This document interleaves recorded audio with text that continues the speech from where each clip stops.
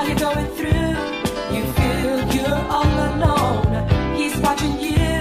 He knows how much you can bear.